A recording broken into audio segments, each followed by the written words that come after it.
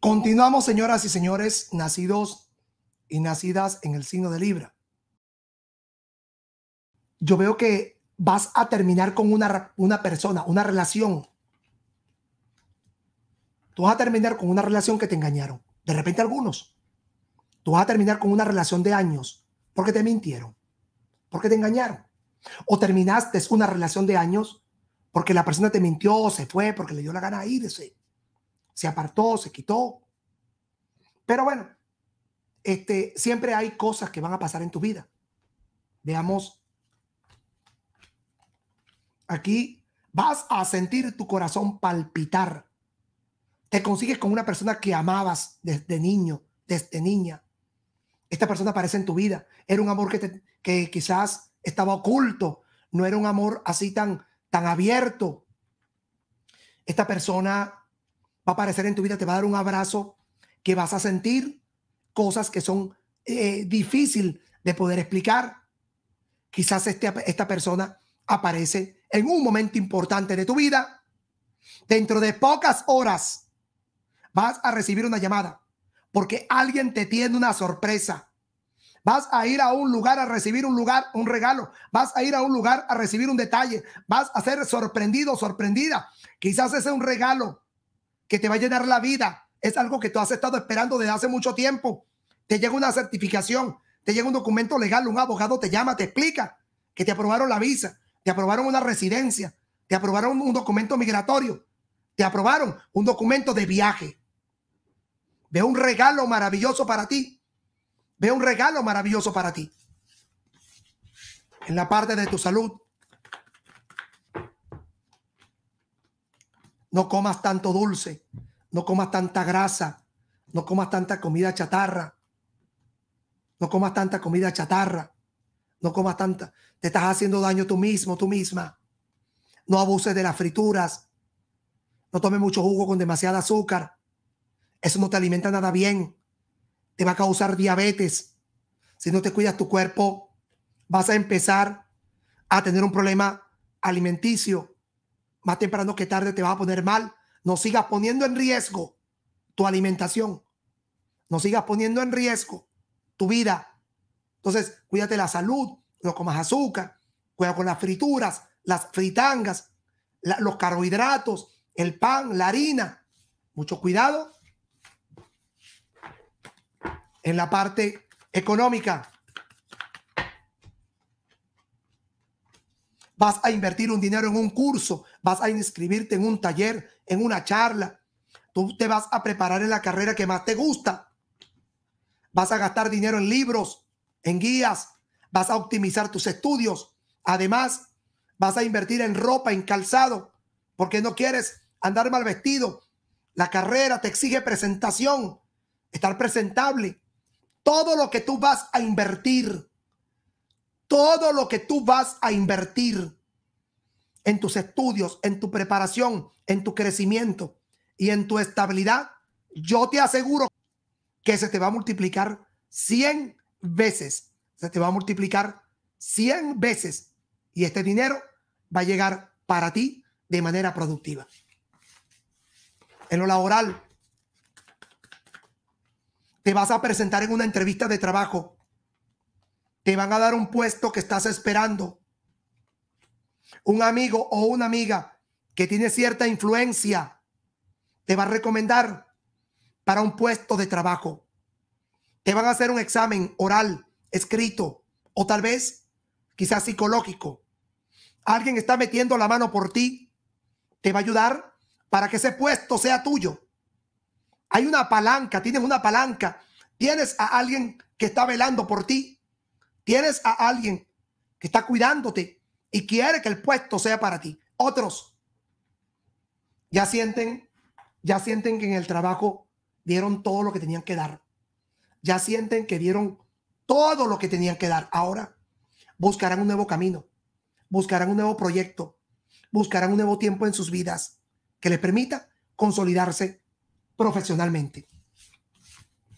Veamos. En el amor,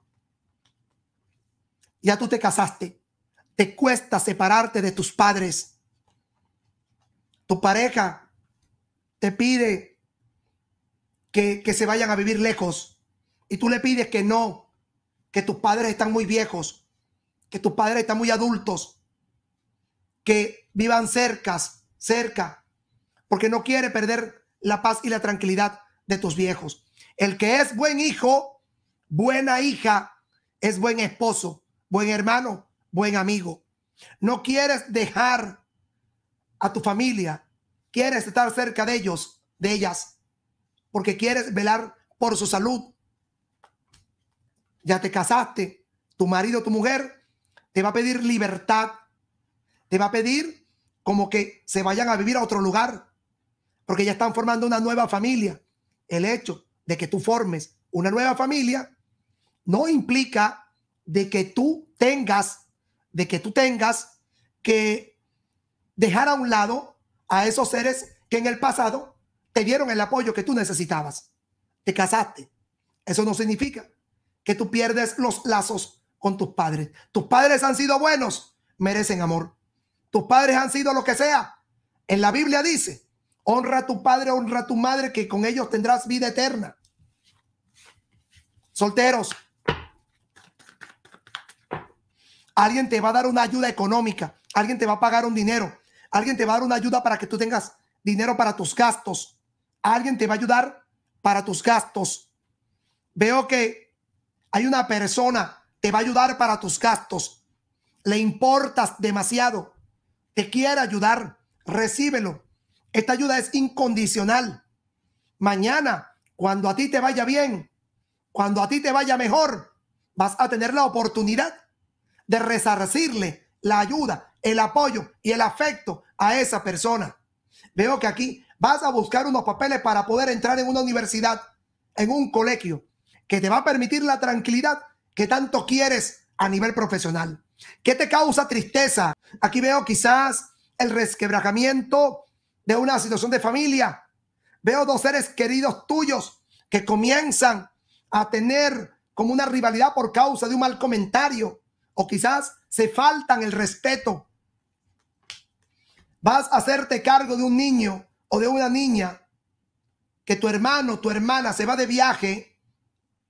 Ten cuidado, estate pendiente no es que te vas a ir de fiesta o de rumba y dejar a tu hijo, al hijo o a la niña, al niño o a la niña en manos de otra persona. Vas a tener un importante compartir en tu casa. Hay una persona que va a celebrar un cumpleaños. Va a haber una fiesta y vas a conocer a alguien que se va a clavar en tu corazón. Divorciados, te armas de valor para enfrentar un gran problema. Asumes algo que no hiciste solo para salvar a alguien más. Uno de tus hijos cometió un error o va a cometer un error, pudo haber cometido un error. Tú asumes el problema para que tu hijo no pague las consecuencias. Ahora quizás esto perjudique tu presencia, cause un malestar en tu familia, cause un problema en la familia y tal vez tengas que aguantar los embates de la vida.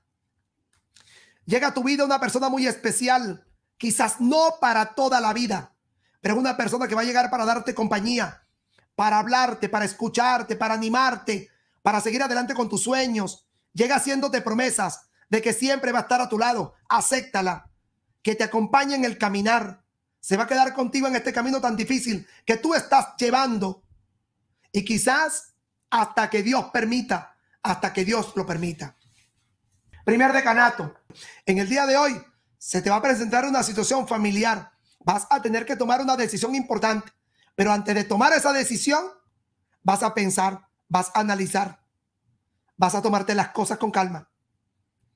Vas a analizar muy bien para no tomar una decisión equivocada. En el día de hoy, mantén la calma. Puede que tengas un altercado con una persona que se lleva algo tuyo, que te quitó algo tuyo, que no te merece, que no merecía que te llevara. Vas a tener una experiencia espiritual. Te van a hacer una ayuda espiritual. Vas a cobrar un dinero.